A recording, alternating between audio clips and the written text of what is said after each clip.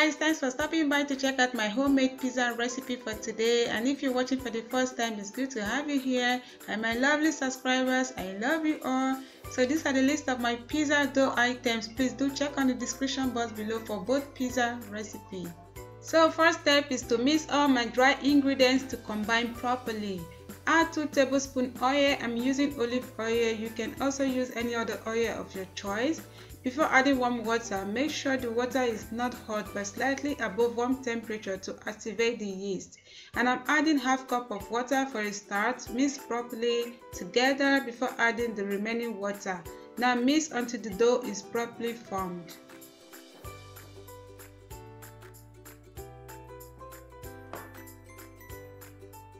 So now add the remaining water and continue mixing to form a proper dough.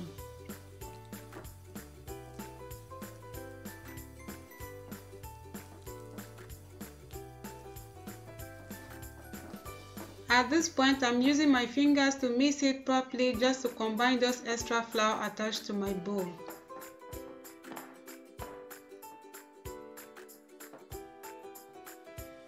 So guys, next is to sprinkle some flour on your work surface. Get all the dough from your bowl onto the surface. Now knead properly with your hand for about 5 minutes. Continue with the knead to activate gluten in your dough for good texture and taste. When the dough is ready, form it into a round ball shape.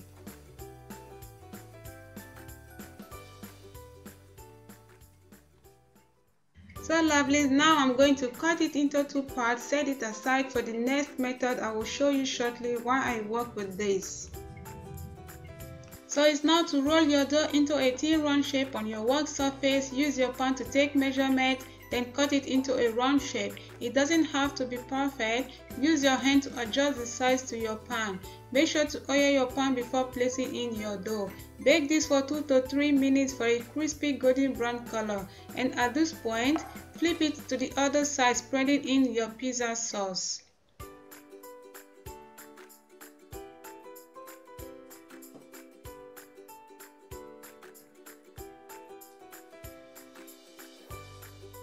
So lovelies, don't forget to reduce to low heat because your dough can easily get burnt.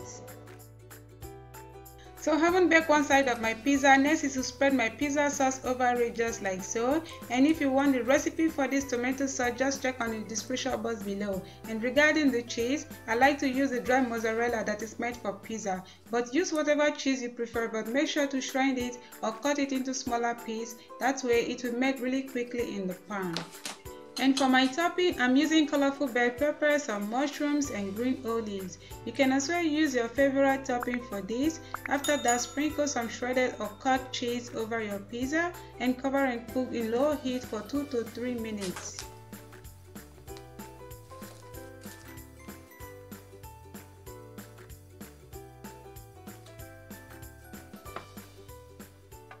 So guys, after 3 minutes when your pizza is finally ready, just transfer it into your cutting board, cut it with a pizza cutter or a knife and serve. And my next method are for those who don't like or have access to buying cheese in the country where they live. So guys, these are my items for this method I'm sharing with you. Don't skip the milk and all-purpose flour for this recipe because they are very essential and also use the preferred topping of your choice. Add 2 tablespoons of your preferred dry milk powder into a bowl. Add a bit of water and mix. Make sure it's not too thick or too thin. Also do same with the flour and mix properly to remove any lumps from the liquid.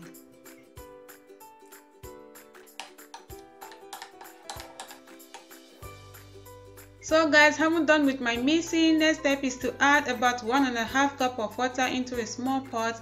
I'm using warm water that way it won't take long to start boiling.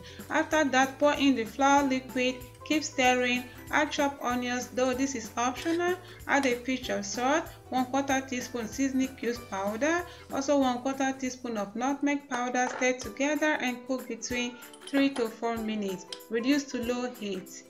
After cooking for some minutes, you can see the color has changed and the texture now thick. Just pour in your milk into the sauce to loosen the thickness and to taste better. Now switch off the cooker and let me cook for 2 minutes before applying it to your pizza. So now I'm flipping on the other side of my pizza to apply my ingredients on it. Add the white mixed sauce on your pizza.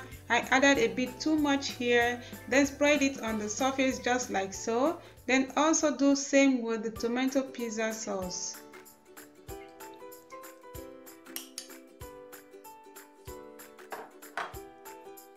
So when you are done with the spreading of your tomato sauce, next is to add your favorite pizza topping and when you are done with that, transfer it to your cooker and cook for 2 to 3 minutes in low heat to avoid being burnt.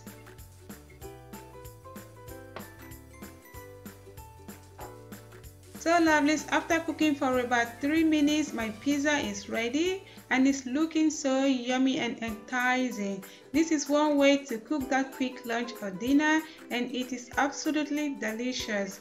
Alright guys, I hope you find my recipe helpful back home and if you like my videos, please do click on the subscribe button below turn on the notification bell for an update. That's where you will be notified the next time i have new video uploaded on youtube.